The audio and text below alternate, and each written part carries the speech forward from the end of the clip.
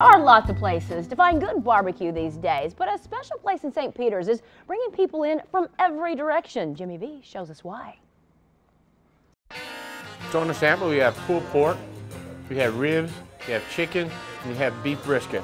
This is Lil Mickey's Memphis Barbecue. Those are baby backs. We, we do baby backs on the weekend on Saturday, and Sunday. Normally we sell spare rib, but all's good.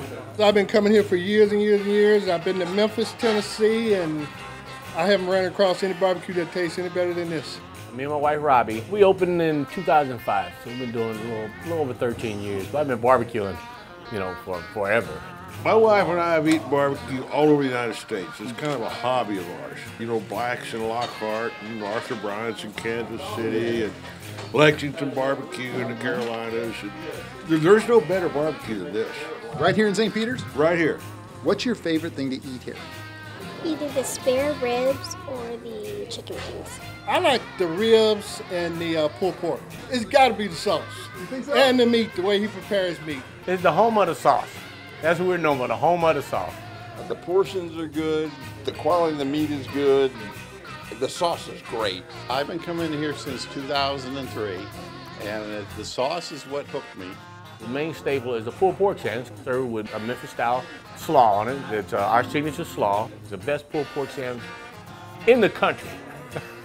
I've had people come in all over the country and say, this is the best sandwich I've ever had in my life.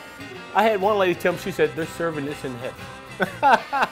I live in Glen Carbon, Illinois. But we're in St. Peters, Missouri. Okay, I come over here for the barbecue all the time.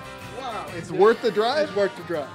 This is the second and third generation. This is my daughter Robin, my granddaughter Kennedy. This is my main man Andy.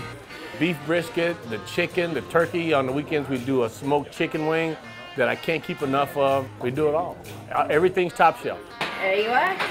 You're welcome. Enjoy. I would recommend this place to anybody. It doesn't get any better than this. Lil Mickey's Barbecue is in St. Peters on Cave Springs Boulevard. It's closed on Monday, so you'll have to wait until tomorrow to try it for yourself.